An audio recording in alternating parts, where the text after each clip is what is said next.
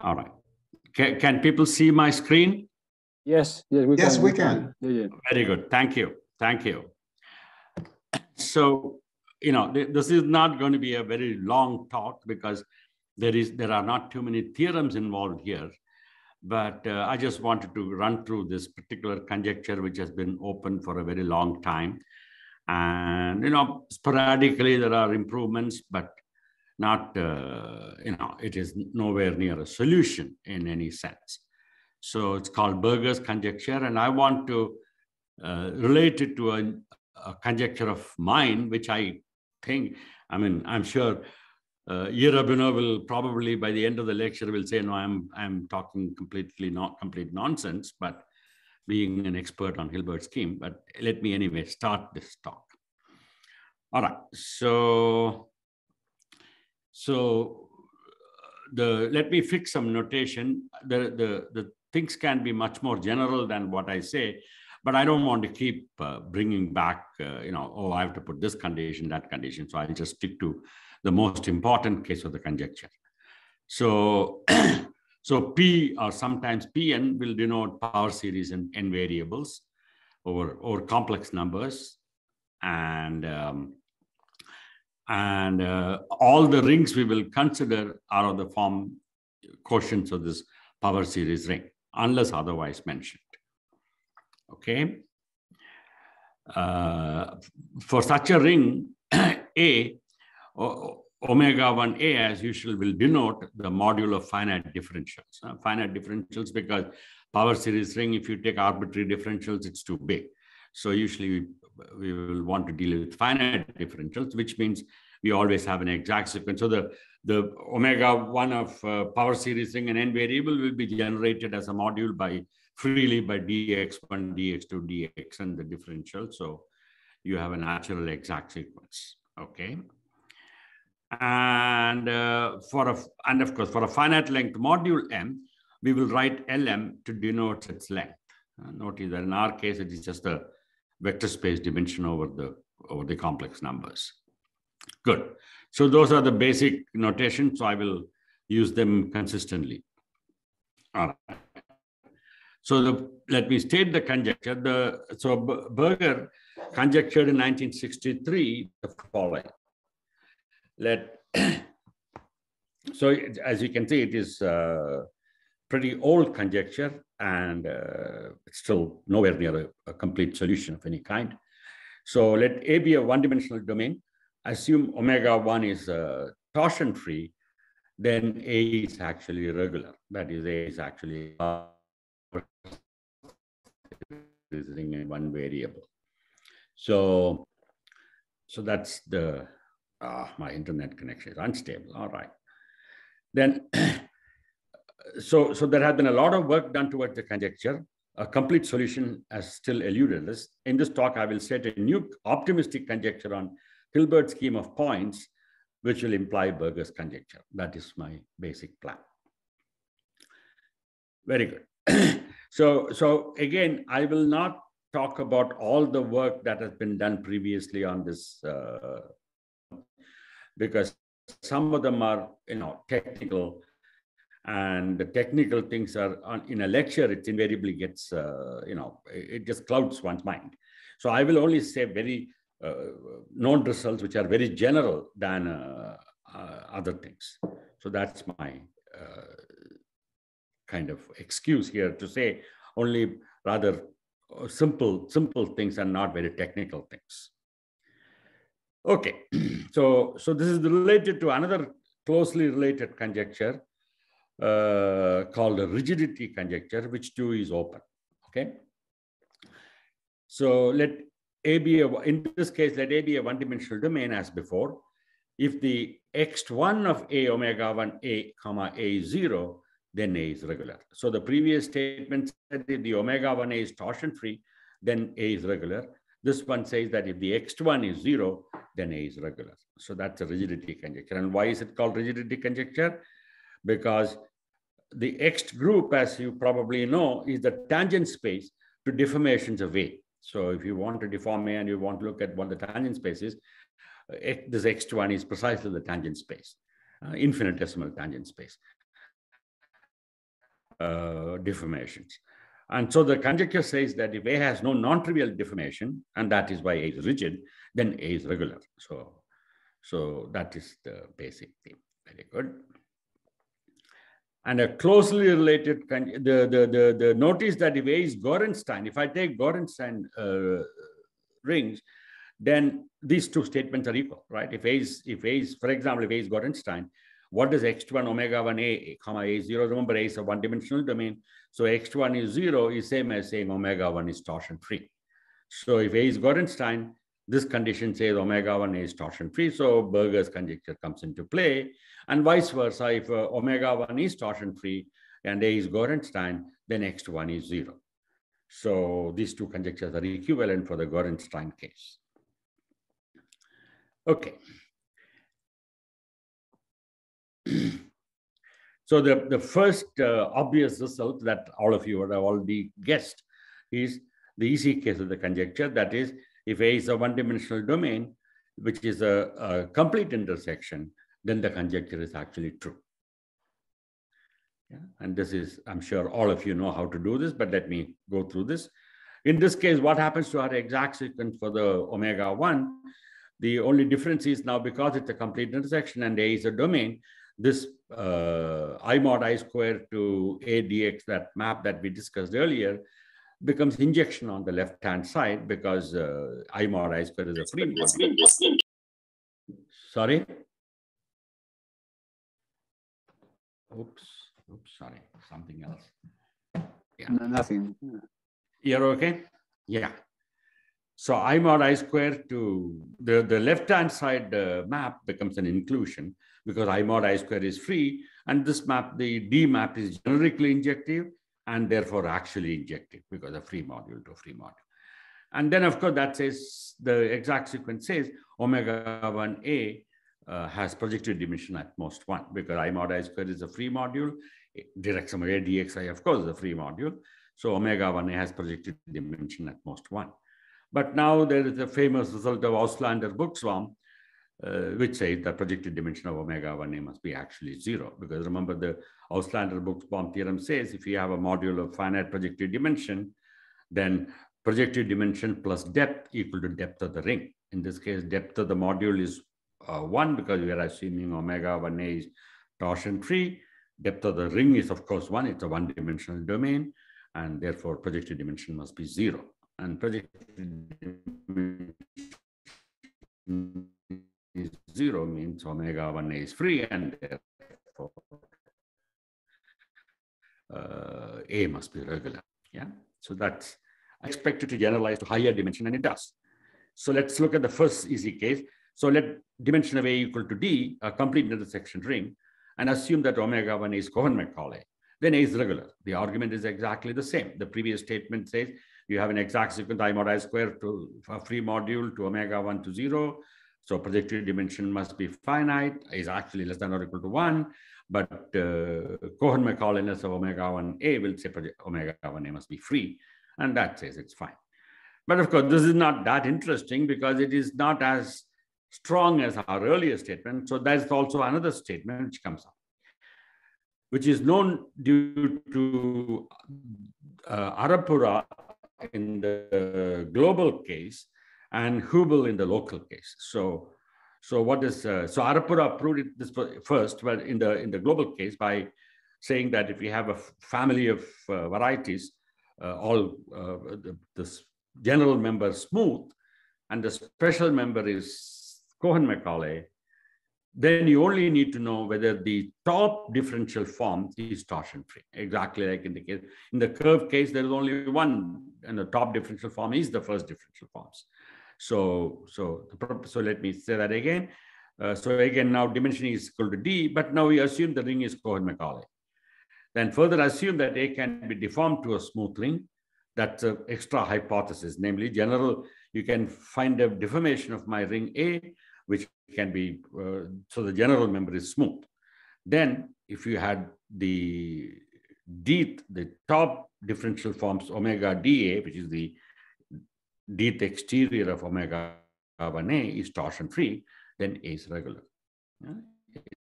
It's a, it's a very nice uh, result. In general, of course, everything, any, if you drop any of these assumptions, you can easily construct counter examples to regularity of the ring. So it's a very beautiful theorem. Yeah. So another case known is when A is positively graded. And that is due to Gunther Scheja. And now there are several proofs. So, so let me state that again. If A is a positively graded one-dimensional domain with omega 1 A torsion free, then A is regular. Are there, are there any questions that people have?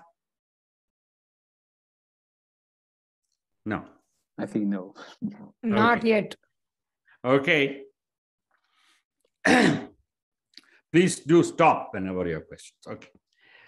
So, so I will, to prove this, I mean, as is there are many proofs, Gunther Scheja's proof slightly different, but let me state an easy lemma. This is the trivial lemma, namely, I look at a very special case of a ring, namely, remember P was the P was uh, power series ring in n variables, and I go modulo the maximal ideal raised to some power d. So where m is the maximal ideal. Then I then this is an Artin local ring, and I want to calculate the omega one of that. And you can calculate omega one because the exact you can write the exact sequence as the Euler sequence very beautifully. And I will not do it here, but it's clear that if you write the exact sequence, then you will get an obvious vector space dimension count, give you the uh-oh, uh, length of omega 1 of A is equal to d minus 1. d is the power that I'm taking the maximal ideal times n plus d minus 1 choose d. Yeah, it's a clear, uh, easy statement. Okay, so why is this important? So let's so let, let me give a proof of Scheja's result because it is easy. And, and this will keep replaying this game, okay?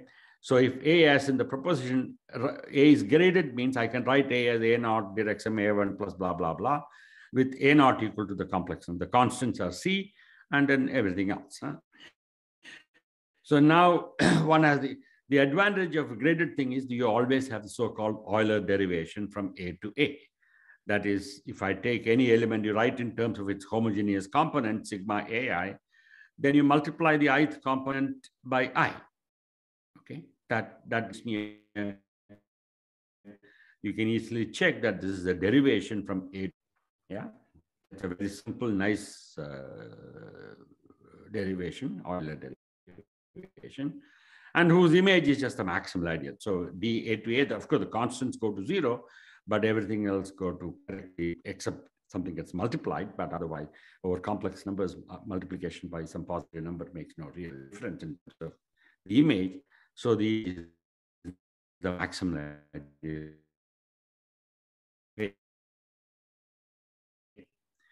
Thus, we have uh, differential form says have a map from omega 1a to n, which, which is surjective. But once it is surjective, since omega 1a is torsion free, this must be an isomorphism. Remember, omega 1a is a uh, rank 1 sheaf, rank 1 module. Therefore, uh, so that's really the main point of uh, uh the gradedness. Namely, if you grade it, you get, and with the hypothesis of omega 1 on torsion you get an isomorphism between omega 1 and A and M. Okay, then we can calculate using this isomorphism, we can calculate omega 1 of A mod M square. Uh, remember, A mod M square is, I can assume, uh, A was P mod I, where I, I can always assume I is contained in M square. So going modulo this, you just get A mod M square. And then you get a standard exact sequence, and you look at the exact sequence, and then this shows that omega 1 of A mod M square by this exact, remember image of M square under the D map is just M, as I said earlier. So, so the co-kernel omega 1 M mod M square is just M mod M square. So the differential forms is just M mod M square. But then I look at my above lemma, one, one, one knows length of omega 1 M mod M square, which is just, if I put in the previous lemma here, in this case, I'm taking D equal to 2, when you take d equal to 2 and you look at this uh, number here, you just get n plus 1 choose 2, where n is the embedding dimension. Yeah. So on the other hand, omega 1 m mod m square, we just checked is m mod m square, whose length is precisely n, which is just the embedding dimension. So I get n is equal to n plus 1 choose 2, which implies n equal to 1, which is what I wanted to prove. Embedding dimension is actually 1. Yeah, so it's a completely elementary proof. Okay. There is another interesting conjecture called the Artinian-Berger conjecture, suggested by Guillermo Cortinas and Chuck Weibel, uh, which, let me state it. So, so again, in this case, it's completely, it's a, it's a statement about Artin rings. So, so let A contained in B be Artin local rings and assume that B is isomorphic to C power series x mod x raised to r, uh, simplest possible kind of Artin local rings. If, if the natural map omega 1a to omega 1b is injective, then A is isomorphic to C power series x mod x raised to s. So, so the, the B is a nice looking ring, then and omega 1a to omega 1b is injective, which is a very strong condition, then A is isomorphic to that. It's a very uh, interesting conjecture. Not uh, much is known about it. Okay, so okay, why does this conjecture imply Berger's I have a conjecture? Question. Let us understand that. Yeah, yeah. The question yeah. is, uh, do, do, how about it little globally, like over a DVR? Is we have to go to completion here? It's is it uh, false? There are various variations. No, no. It, the, the, the completion is only for avoiding unnecessary discussions of various conditions to be put in. For example, if I want to work with a characteristic P, there are mm-hmm. there are things statement made. You know, a field has to be perfect, that that blah blah, and certain statements about whether uh, you know the, the rings are reasonably good, so that when you go to completion, what happens? That sort of stuff too you know. So there, no no there are many variations except i don't want to each time i have to put in i have to keep saying oh this happens or that happens you know. Okay. So whereas in the completion case there is nothing to worry about but but uh, but otherwise you have to do a few things yeah but nothing no not no most of the what you expect to be true will be true in other words yeah yeah yeah okay Okay, so why, why does this conjecture imply Berger's conjecture? So take R to be, a, as usual, a one-dimensional domain with omega 1 R torsion free. Yeah? That's our starting point for Berger. And now take SP the normalization so that, see, here is a case where that happened, right? If I took R to be an arbitrary uh, ring, let's say uh, affine ring, uh, one-dimensional domain, uh, then the normalization may not look like C power seven, uh, polynomial ring in one variable. Normalization will be a Dedekind domain, but uh, but not, and sometimes not even depending on the situation. Uh, so there are cases where normalization will not even be uh, a domain, right? We know that, right? You know, like nodal nodal curve, when you take a, in the completion level, take a normalization, suddenly things become bad. But anyway, what I'm trying to say that if it, if it is um, a completion level, then the normalization is always power series ring. Otherwise, you have to be a little more careful as to what S looks like. anyway, so take uh, the normalization. So that is some power series ring in one variable. So now we can take an ideal I in R such that I times S is equal to I, right? That's the main point. So what, what kind of ideals will do this trip? Uh, you can, for example, you can take the conductor ideal, that's the standard ideal, so-called conductor ideal, which is uh, uh, an ideal in R as well as an ideal in S. That is basically saying that when I pull it up to the, uh, take the ideal in R and pull it up to S, this, it continues to be the same thing. No other extra elements get added to the conductor ideal. Yeah, but I, therefore I can take, in fact, any multiple of the conductor ideal, any ideal, conductor ideal times any other ideal will do the same trick. Uh, so in particular, some large power. I, I just want I to be the ideal I'm going to take to be inside the maximal ideal square. So might as well take a large power. Mm-hmm. So I take such a large power ideal, conduct, uh, power of the conductor ideal. Then one can check. Once you do that, you take A to be R mod I in this conjecture a is going to be R mod I, B, and then you can check. So the only thing I have to check, of course, S mod I IS by definition, S remember is C power series X. So S mod I IS or S mod I is of the form C power series X modulo some power of the X because you know, the, it's a PIE. Uh, but the only thing I check, and it is easy to check in this particular case, that the condition of ABC hold, namely omega 1A to omega 1B is in fact injected. Okay, that's the main point.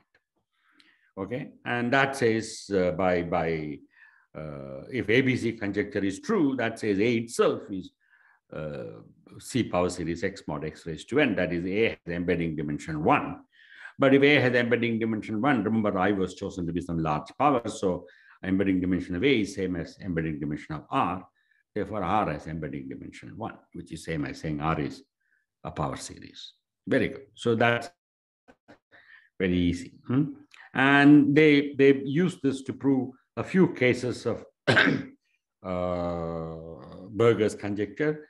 I will not go into it because the you know it's uh, if if multiplicity is such and such etc etc or embedding dimension is small, they try to prove various things. But I will not uh, get into it because those numbers you and I will listen to a lecture and next day we will forget. So might as well continue. Okay, now I come to my main point. As I said, my lecture is going to be short. So, so here is Hilbert scheme. So for again, for definiteness sake, let me uh, take Hilbert scheme, which I denote by H n comma d, two numbers n and d, denote the Hilbert scheme of Artin local rings of, uh, of, of the form A equal to Pn uh, mod i. Pn n is the number of variables, remember, in the Artin local, in the, in the power series ring. And i is some ideal and uh, length of A is the number D, and I is contained in the square of the maximum ideal, which is a harmless assumption to make because if I is contained in, not contained in the square of the maximum ideal, I can drop one of the variables and think of my A as something in Hn minus 1D, right? And so might as well assume that I is always contained in the square of the maximum ideal. And so here is my definition for uh, the thing I want to talk about. Since I couldn't think of a better word, I will just call a ring, Artin local ring of the above kind to be good. If the uh, derivation map D, A to omega, the universal derivation from A to omega 1A has kernel precisely C. The constants, of course, always go to zero, but nothing else go to zero under the map D. Yeah. So that's good. And my conjecture is the set of all good A in H and D is dense. So this is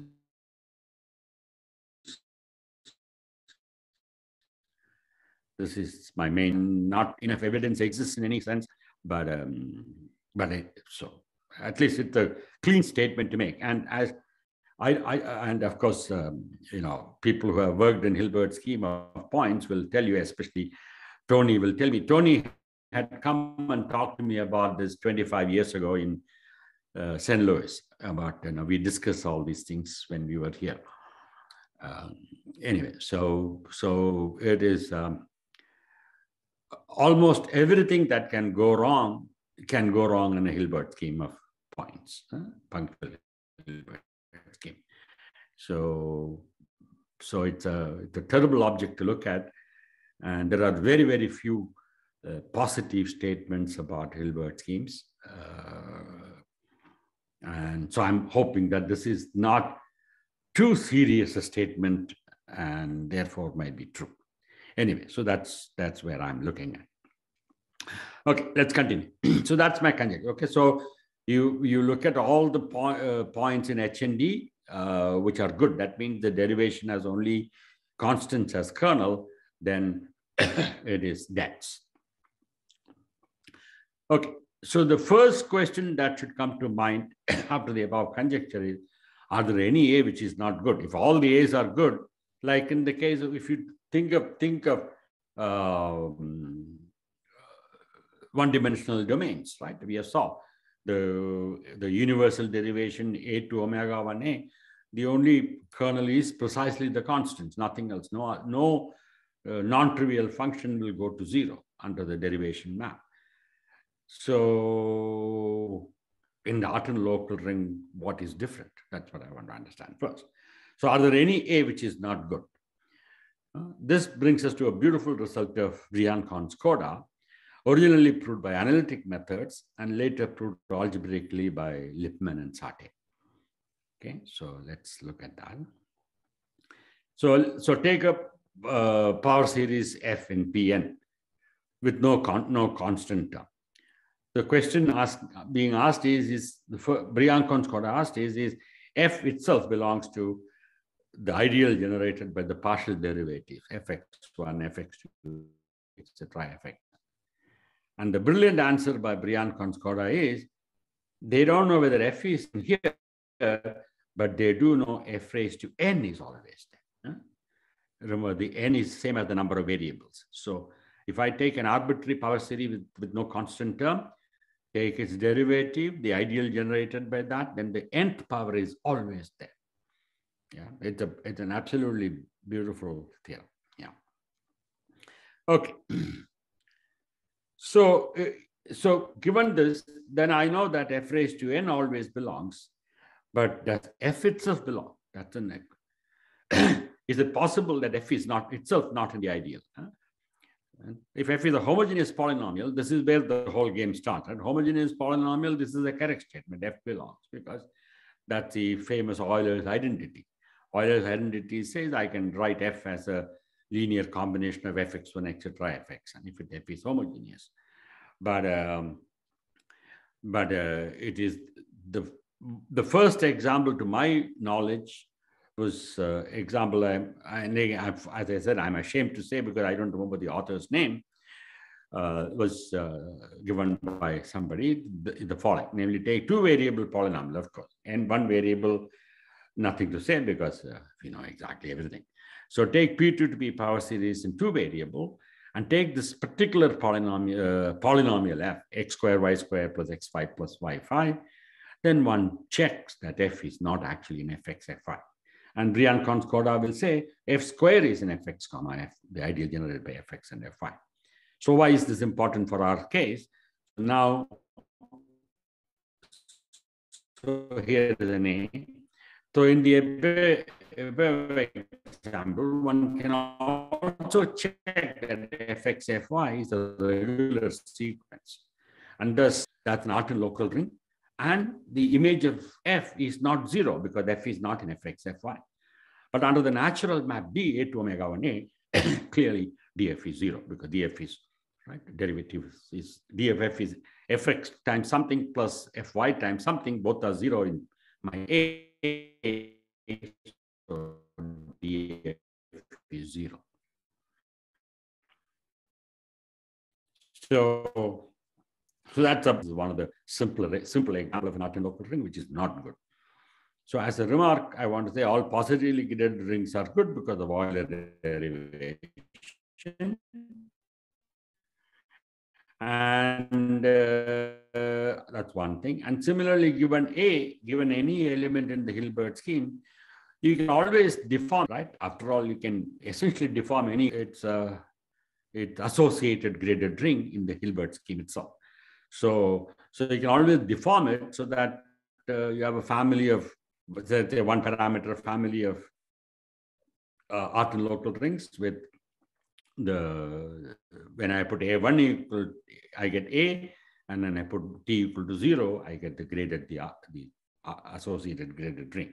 So you can always deform something to a good guy. In other words, a family of, given any Artin local ring, there is a family of Artin local rings so that the special member is good. But unfortunately, that doesn't say anything about my conjecture. We are interested in quote unquote, in some sense, the general member than the special member. Okay. okay, now I want to illustrate why the, my conjecture implies Berger's conjecture. Yeah, so we start with an easy lemma. Uh, take, uh, again, as before, one-dimensional domain, omega 1 is distortion-free. And then for a general choice of the variable x equal to xi, we have the length of omega 1 of a mod xa. Remember, this is an Artin local ring when I go modulo x. it is strictly less than length of A mod XA. Yeah, that's a lemma. Okay, what is the proof? Proof is straightforward. Take such a general X in the maximal ideal, but not in the square the maximum ideal. Then I have the inclusion C power series X contained in A. This is the finite because remember we are in complete case, everything is finite. And thus we have an exact sequence uh, using this thing, zero A times dx goes to omega 1 of A to omega 1 of A, the relative differentials A over Cx.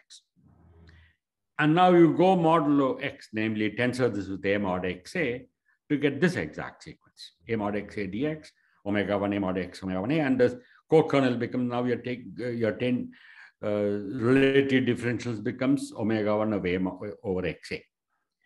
Okay, so so when what is the advantage of a torsion-free module? You have a omega 1a is torsion-free and rank one. Therefore, when I go modulo a non-zero divisor, the, the length of that is same as length of the corresponding ring. So length of omega 1a mod x times omega 1a is same as length of a mod xa. Here is where I've used uh, torsion freeness of omega 1a. Hmm? And this map is non-zero because x is not, dx is not in the maximum. Uh, x is not in the max uh, square of the maximal ideal. So dx will go to a non-zero element in the first term. So what does it say? This has length, a, the middle term has length a mod xa. And there is, to get the right-hand side term, I'm going modulo at least one non-zero guy. So this length must be strictly less than length of a mod xa. That's the lemma. All right. No, I put an exclamation mark instead of a one. Okay. Very good. So, so now, so now in our situation, so we the, the lemma is proved. So now we, we look at our A. Now let's look at B equal to A mod XA in our situation. So that we have length of omega 1B strictly less than length of B. Now B is of course in H and D for some suitable N and D.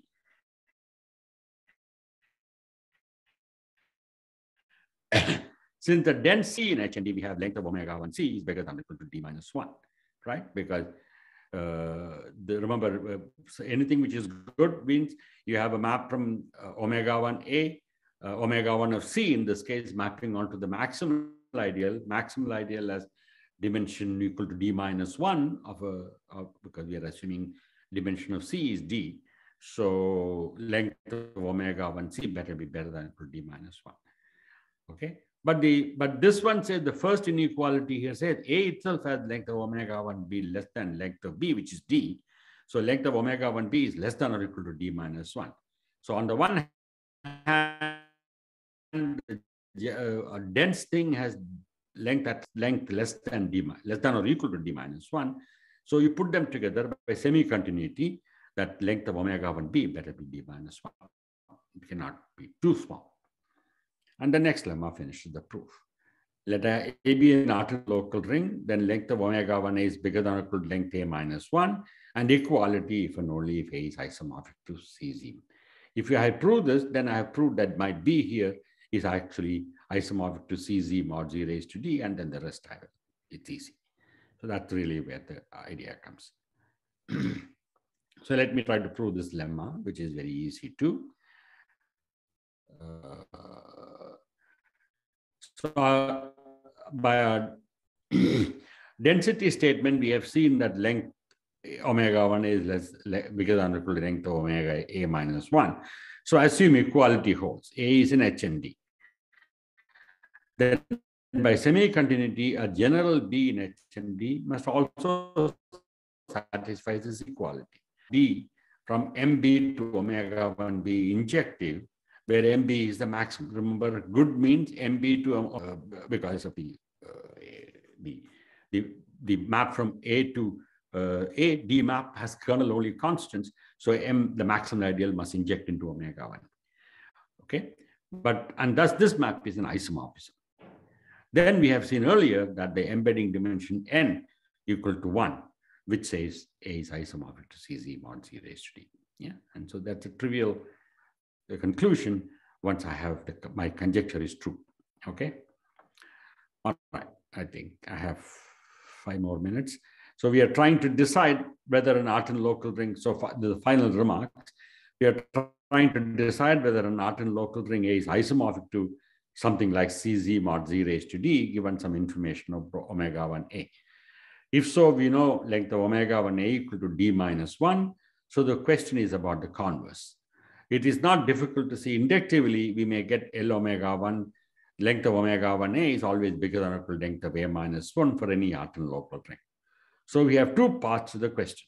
And the two parts are, uh, assume L of omega 1A is equal to length of A minus 1 First, can we deform A so that the general member is isomorphic to that? That's this happened easily by my, if my if my conjecture is true because general member will have this property.